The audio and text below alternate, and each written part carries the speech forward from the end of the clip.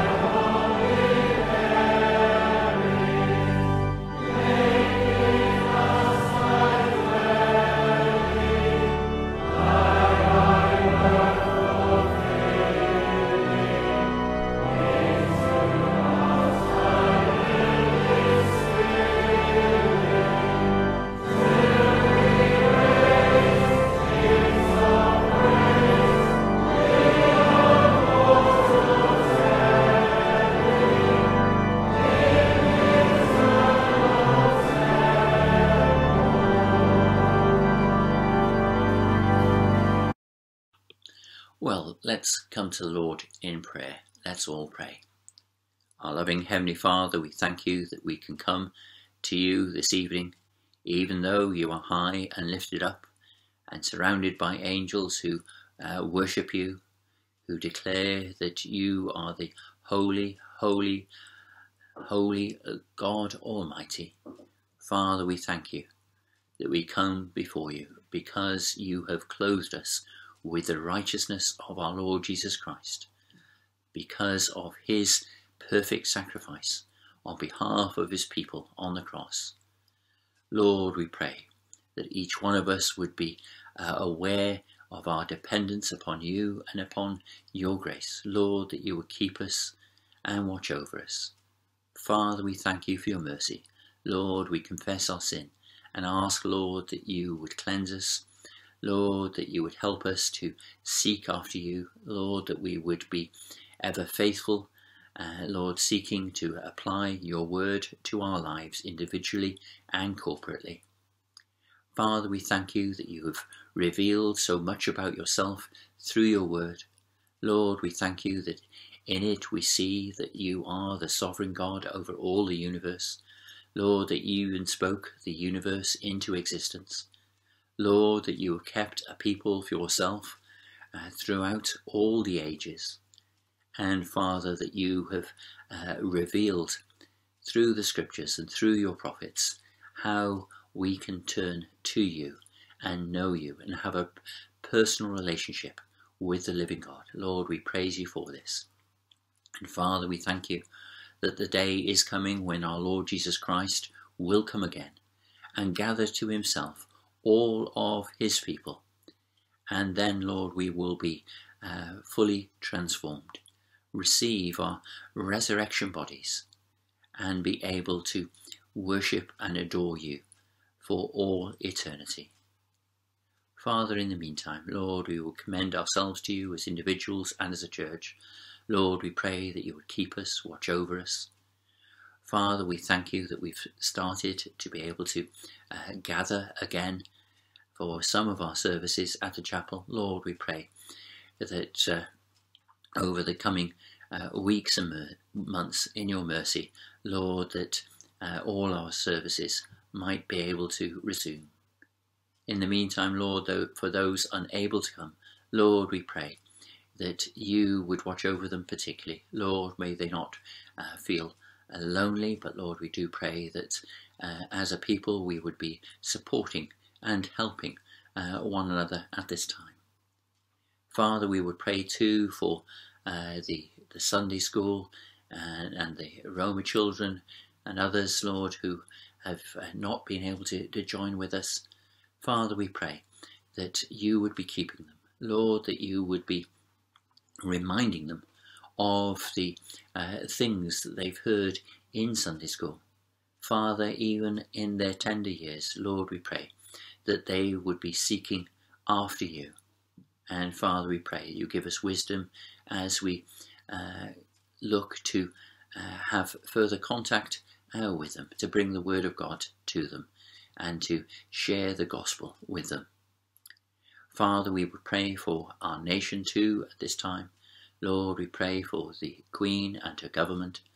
Lord, we pray that you would uh, give them uh, much wisdom as they seek to continue to deal with this pandemic, to uh, advise on uh, the uh, regulations that we should uh, follow, Lord, the limitations. Father, we pray that these things uh, would be applied and, Lord, that through it the spread of the virus would be contained. And Father, that in your mercy and goodness, in due time, a vaccine might be found. Father, we pray that our nation would learn uh, through this time, Lord, that there would be many who would seek after you as a consequence of seeing their own vulnerability uh, to this thing. And Father, that when they seek after you, Lord, that they might indeed find you and be saved. Now, our Father, we ask that you would be with us through the rest of the evening. Father, may all that is done and said be to your praise and honour and glory. We ask it all with the forgiveness of our sins through our Lord Jesus Christ. Amen. Now, uh, this evening we are going to be looking again at Paul's letter to the Colossians, which tells us much about Christ. In it we read, He is the image of the invisible God, the firstborn over all creation. In him dwells all the fullness of the Godhead bodily who is the head of all principality and power. God has made us alive together with him, having forgiven us all trespasses. So let us express our love for Christ as we sing our next hymn. Fairest of all the earth beside, that man of Calvary has won my heart from me and died to set me free. Bless man of Calvary. Let's sing to his praise.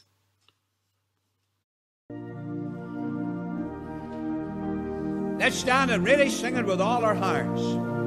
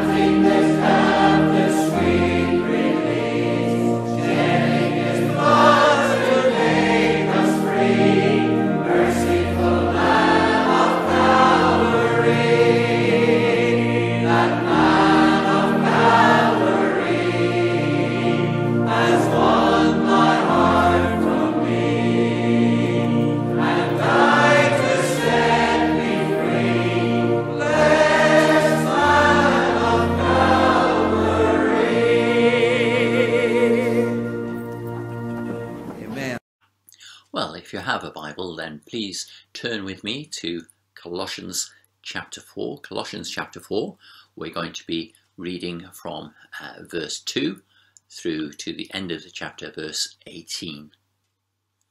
So, Colossians chapter 4, verses 2 to 18, I'll be reading from the New King James Version. Let's hear the word of God. Continue earnestly in prayer being vigilant in it with thanksgiving. Meanwhile, praying also for us, that God would open to us a door for the word, to speak the mystery of Christ, for which I am also in chains, that I may make it manifest, as I ought to speak. Walk in wisdom toward those who are outside, redeeming the time. Let your speech always be with grace, seasoned with salt, that you may know how you ought to answer each one. Tychicus, a beloved brother, faithful minister, and fellow servant in the Lord, will tell you all the news about me. I am sending him to you for this very purpose, that he may know your circumstances and comfort your hearts. With Onesimus, a faithful and beloved brother, who is one of you. They will make known to you all things which are happening here. Aristarchus, my fellow prisoner, greets you, with Mark, the cousin of Barnabas, about whom you received instructions. If he comes to you, welcome him. And Jesus, who is called Justus. These are my only fellow workers for the kingdom of God, who are of the circumcision. They have proved to be a comfort to me. Epaphras, who is one of you, a bondservant of Christ, greets you, always labouring fervently for you in prayers, that you may stand perfect and complete in all the will of God. For I bear him witness that he has a great zeal for you, and those who are in Laodicea, and those in Hierapolis. Luke, the beloved physician, and Demas greet you. Greet the brethren who are in Laodicea, and Nymphas, and the church that is in his house. Now when this epistle is read among you, see that it is read also in the church of the Laodiceans, and that you likewise read the epistle from Laodicea. And say to Archippus, Take heed to the ministry which you have received in the Lord, that you may fulfill it. This salutation by my own hand, Paul. Remember my chains. Grace be with you. Amen. Well, may the Lord add his blessing to the reading and hearing of his inspired and infallible word. Before we consider God's words, let us sing our next hymn Nearer, still nearer, close to thy heart.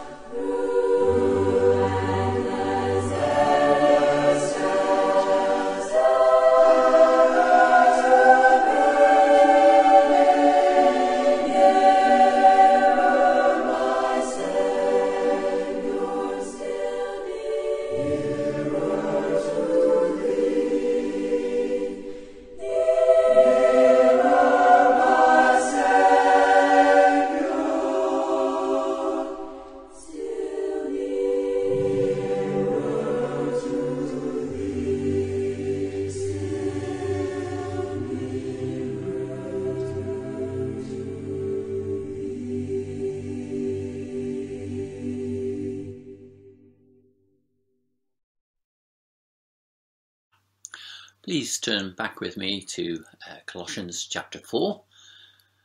Now we've come to the end of a, a wonderful letter, an inspired revelation from God. It would be easy to pass over these final greetings, exhortations, and the closing blessing in verses 7 to 18. However, I trust we will find encouragement and help in this section.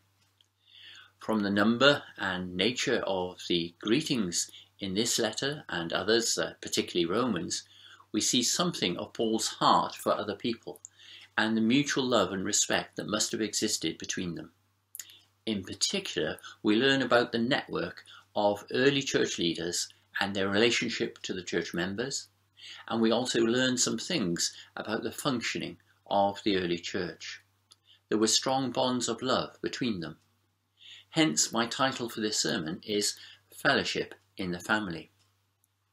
The people that Paul mentions as bringing greetings to the Colossians were part of his ministry in Rome, and as Aaron and Hur supported the arms of Moses as they appealed to God for success against the Amalekites, so these men were vital to Paul in his ministry. Hopefully, from these insights into the individuals and functioning of the early church, we can also draw out some applications for us as a church. Now, we've previously remarked on the fact that Paul had not founded the church at Colossae, nor visited it prior to writing this epistle. But the detail in this section shows us and his readers that he would have been very well acquainted with the church and its needs from those who had first hand knowledge of the church. Hence we can see that as well as the letter having application to the Church universal of every age, it had a very particular relevance to the Colossians and the needs and dangers that they faced.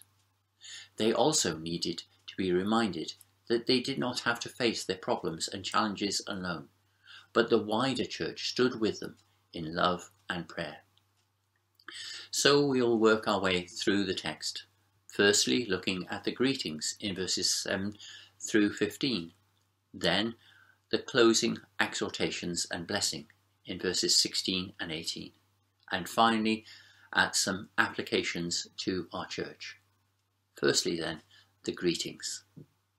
Let's read again uh, verses 7 to 9. Tychicus, a beloved brother, faithful minister, and fellow servant in the Lord, will tell you all the news about me.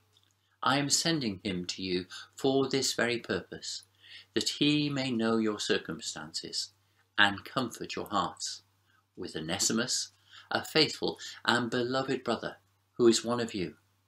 They will make known to you all things which are happening here. Tychicus was carrying this letter to the Colossians from Paul in prison. He had been a trusted member of Paul's missionary team, a native of the uh, Roman province of Asia, which is modern day Turkey.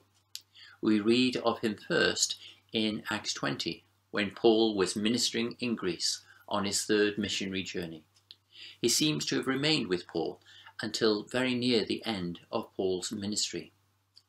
He is also trusted by Paul to deliver the letters to Colossae, Philemon, and Ephesians, which we have in our New Testament, plus a letter to Laodicea, and probably other letters. Now, as well as being an important mission, it would have been an arduous and perilous journey from Rome. He travelled hundreds of miles so that the churches could be blessed by these letters, and the church today can still receive great blessing from them. Notice how he's described by Paul, firstly, as a beloved brother. This was their primary relationship that had grown up over the years. He was also a faithful minister and a fellow servant in the Lord. So he had proved himself to be faithful, reliable, and trustworthy. The word for minister here is the same as we translate deacon elsewhere. And Paul uses the same word to describe his own ministry. The word for fellow servant implies that both Paul and Tychicus were bondservants or slaves of the same master. The Lord is that master, and uh, this deacon was very much a valued member of the ministry team within the wider church, not just someone undertaking menial tasks. He had the same heart for the gospel as is found in Paul. In fact, later he is mentioned by Paul as a possible substitute for Titus when Paul asked Titus to come to him at the end of his ministry. As well as bringing this precious letter to the Colossians, Paul entrusts him with the task of telling the Colossians all the news about Paul himself, and thus to encourage the Colossians with that news. Paul is not just some far off church leader, and even though he hasn't met most of the Colossian church, he has a personal connection with them and wants them to know all about him as part of his fellowship with them, and perhaps so that they can pray more specifically on Paul's behalf. Those sorts of personal details were better explained in person than in writing, so that the Colossians would, be proper, would properly understand Paul's circumstances and well being. Accompanying Tychicus is Onesimus. Onesimus is, of course, the runaway slave of whom we read in the brief letter to Philemon, where Paul pleads to Philemon on behalf of Onesimus. That is why Paul describes him as one of you. Now, being a slave or lowly bondservant in that society was generally not as demeaning as the awful transatlantic slavery which is still causing so much strife in our modern society.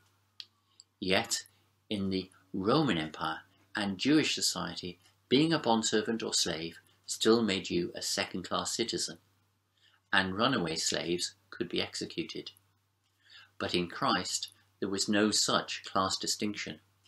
Onesimus is valued just as much as other believers, and is not described here as a slave. Rather, he is to Paul a faithful and beloved brother. He has shown his faith consistently. He is loved, part of the family of God. And in mentioning him before the whole Colossian church, and not just Philemon, Paul wants them all to see his evaluation of Onesimus. Indeed, there is evidence from one of the early church fathers that Onesimus may have eventually become an elder of the Colossian church so perhaps Paul saw that potential in this beloved co laborer. Our Lord told his disciples in John 13, A new commandment I give to you, that you love one another. As I have loved you, that you also love one another. By this all will know that you are my disciples, if you have love for one another. We must ask ourselves, does such love characterize our relationships? Do we regard our fellow believers not as members of the same club, but of the same family?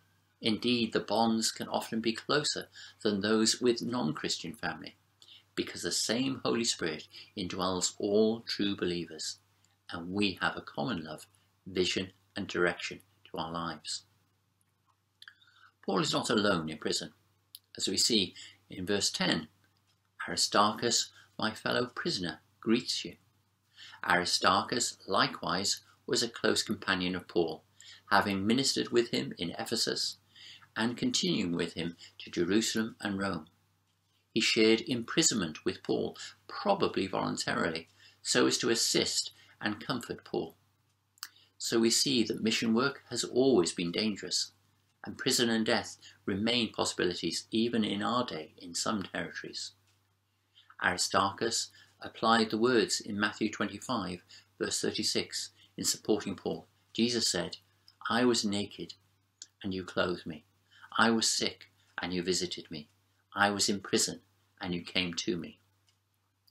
We need in our churches people who will show real sympathy and practical support and help us bear our burdens. Then we have mentioned a more familiar individual, with Mark, the cousin of Barnabas. You will recall that a rift had existed for a time between Paul and Barnabas because of Mark, who had left them part way through their first missionary journey. Thankfully, these brethren were later reconciled, and we perhaps get a hint of that in that Paul goes on to say about Mark, about whom you received instructions, if he comes to you, welcome him. So clearly, Mark was not written off by Paul, and despite the early setback, he became very useful in the kingdom of God, not least for the gospel that bears his name. So we shouldn't give up on ourselves or others just because of a failure or fear in particular circumstances. Finally, in this section, he mentions, verse 11, Jesus, who is called Justus, about whom we know nothing beyond what we have here. But he too was valued by Paul and immortalized in God's word. The name Justus means righteous. Now, surely he must have been quite a person to live up to the title of Jesus the righteous. Like him, we don't need to be known by others, but we do need to be faithful servants of the Lord and his people, and to be helpers and encouragers of those engaged in frontline ministry. Paul was not a lone wolf. He valued co-laborers. So he says, These are my only fellow workers for the kingdom of God who are of the circumcision. They have proved to be a comfort to me. He is clearly feeling an awareness that they are a relatively small team for the task before them. Often we can feel the same and feel almost overwhelmed by our responsibilities, since every labourer in the church is vital to its work but thankfully we have a God whose power and ability is limitless. Nevertheless, we should remember our Lord's words when he said, The harvest is plentiful, but the labourers are few. Therefore pray the Lord of the harvest to send out labourers into his harvest. These men of whom Paul was speaking had another thing in common with Paul. They were all of the circumcision in other words, Jews, his fellow countrymen. Now we know from Paul's pattern of evangelism in Acts, and from Romans 9 to 11 in particular, that whilst Paul was an apostle to the Gentiles, he had a real burden for his fellow Jews, most of whom had rejected the Messiah, and he was probably disappointed that only three Jews were amongst his close associates during his incarceration. He not only had this natural connection with these Jewish believers, believers, uh, but he has mentioned that uh, they proved to be a comfort to him. So we can think of Paul as a great apostle on fire for Christ, but we need to remember that he also had feelings like we do.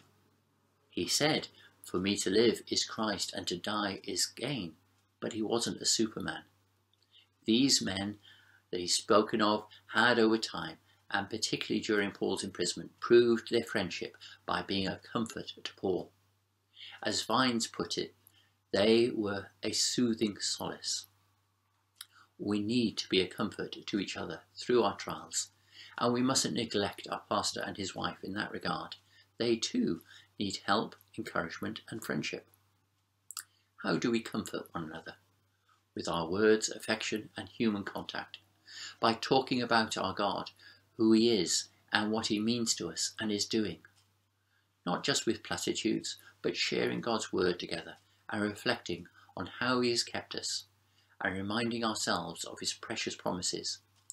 We need to express our fellow feeling, to weep with those who weep, and to share our comfort as Paul puts it in 2 Corinthians 1, that God of all comfort comforts us in all our tribulation, that we may be able to comfort those who are in any trouble, with the comfort with which we ourselves are comforted by God.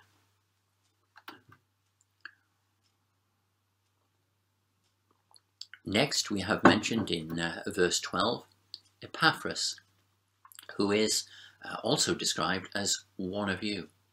Now we heard of Epaphras in chapter 1 and verse 7, from which it appears he was an elder and quite possibly the founder of the Colossian church.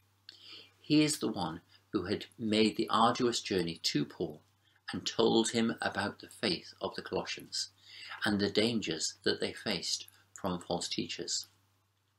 Paul is here showing and endorsing the qualities of Epaphras and perhaps implicitly demonstrating to the Colossians that they should be listening to this minister of the gospel, not the newcomers with their message that the Colossians needed to add to Christ special knowledge, Jewish customs, legalism, and asceticism.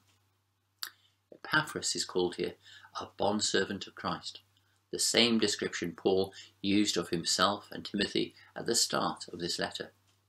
Paul recognizes his fellow laborers. He is not someone who elevates himself above others. Rather, he and all true leaders are not lords or popes, but slaves or bondservants, serving the people because they know their master is the Lord Jesus Christ. As well as telling Colossians that Epaphras greets them, he says that Epaphras is always labouring fervently for them in prayers. The word translated here as labouring fervently is the root for our word agonizing.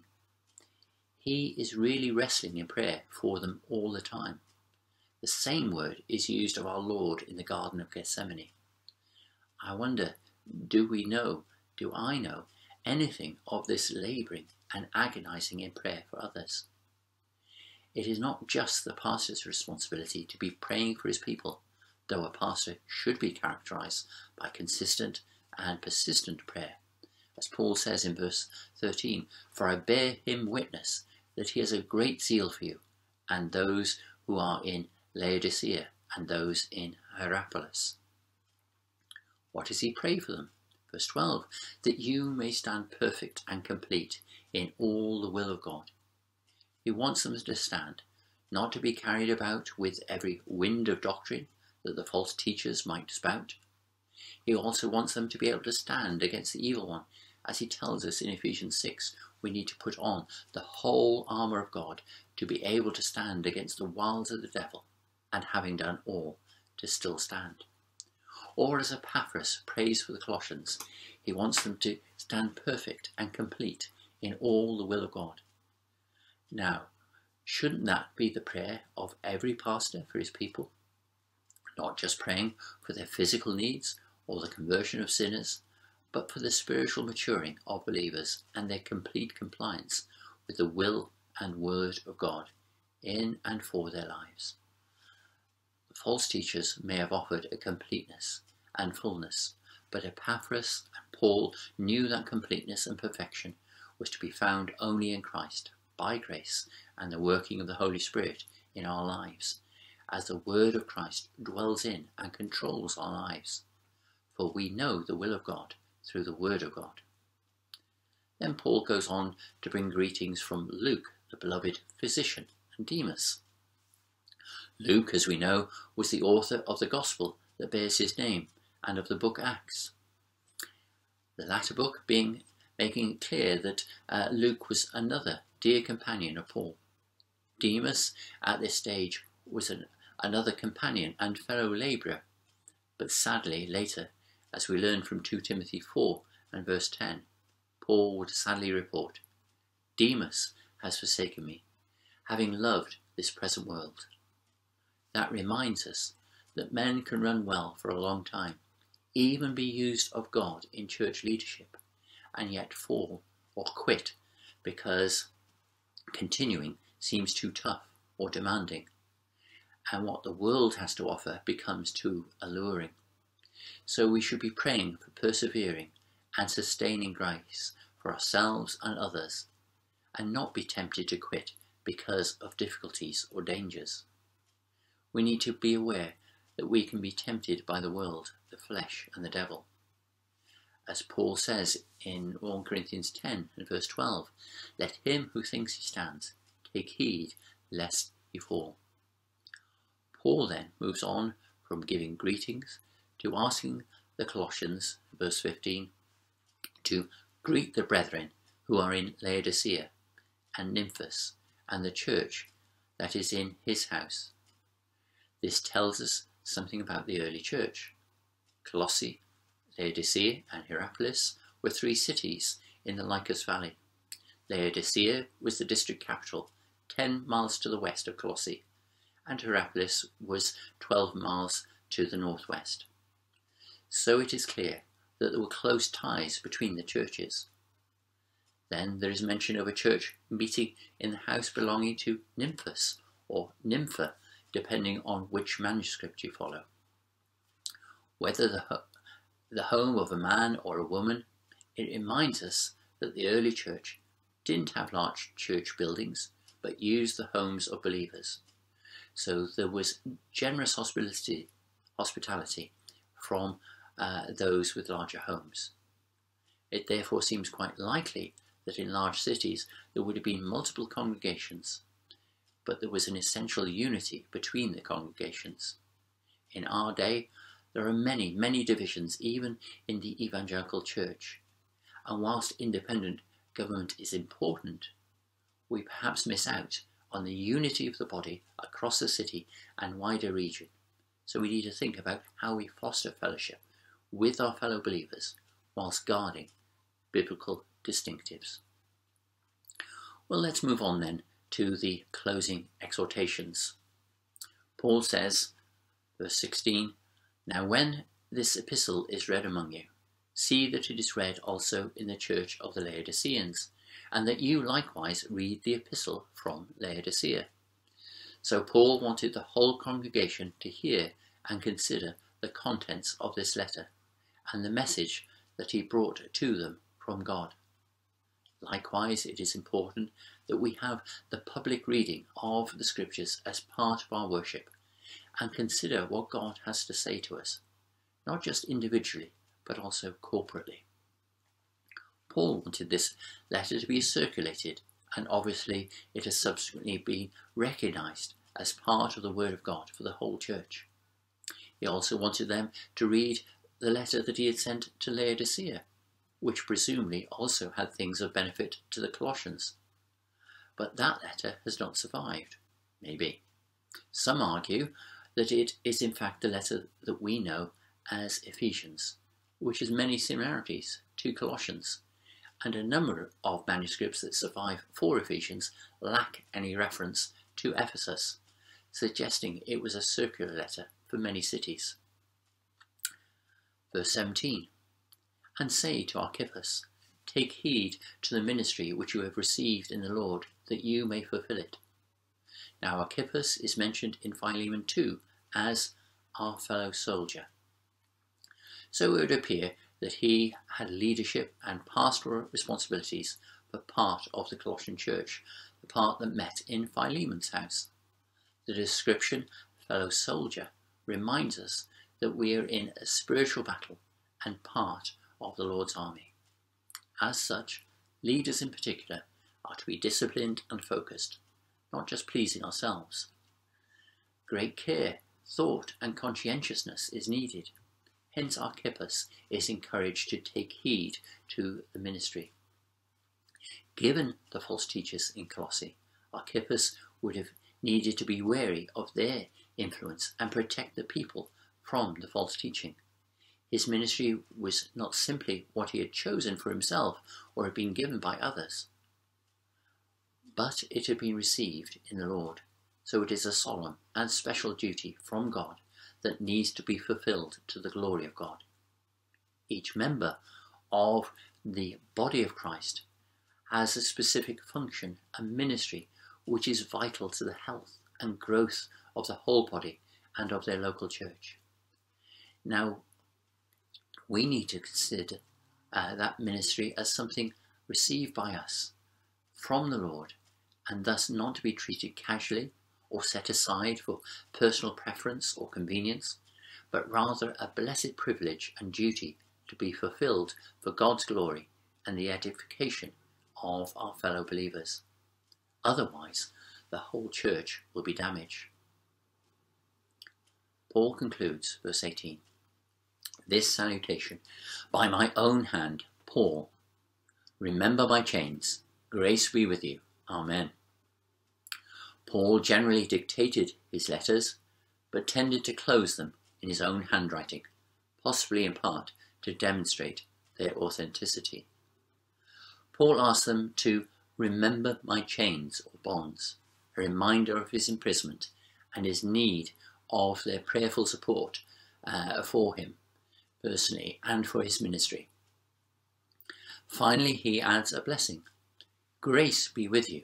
Amen. As he started the letter by asking that they might receive grace from our Heavenly Father, so he concludes with the same blessing and prayer. The Colossians and we need many things, including the instructions and precious truths revealed in this letter. But our fundamental need is for grace from God, grace to cover our sin, grace to strengthen and sanctify us, grace to bring us to glory, and the embodiment of grace is Christ. We need Him. So, in conclusion, from, uh, let us consider from this passage, and indeed from this book, what which we've been studying for some time, some applications to our church. So, a number of applications then uh, from this passage, questions for us to consider.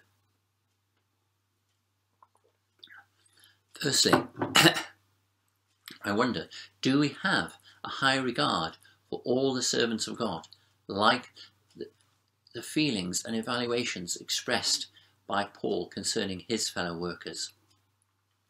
Do we undertake tasks, however humble or arduous, that we might build up the Church of God by our service? Do we work with others to progress the gospel, or do we leave it all to the pastor, or just do our own thing? Are we open and honest with each other about our circumstances, that we may have genuine fellowship and more informed prayer? Can we learn from Onesimus, who had been unreliable, irresponsible, and even running away from his responsibilities? Yet he became faithful and was prepared to return to his former pastor and the church. God can greatly use those who humbly repent, even if their past life has largely been wasted on themselves. Are we like Aristarchus, prepared to sacrifice our own comforts to give comfort and provide for those in real need, especially I'm thinking of those who are suffering for their faith. Are we, like Paul in relation to Mark, prepared to trust and co labour with someone who previously disappointed us and let us down? Do we, like Epaphras, labour fervently and consistently for our fellow church members in prayer? Are we aware of the danger of slipping away from God's service like Demas because of love for this present world?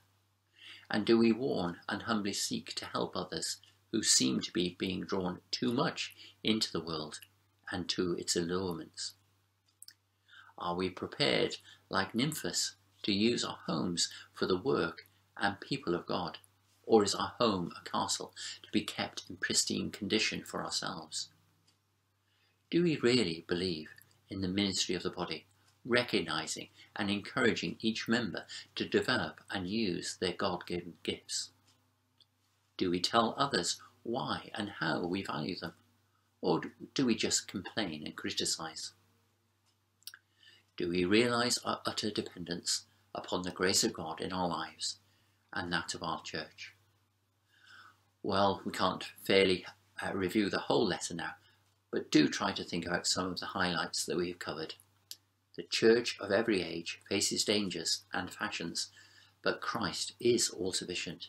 He is God, preeminent in all things, and we are complete in Him. His blood on the cross bought our reconciliation to God. It is Christ in us that is our hope of glory. So we need to dwell on Him and proclaim Him.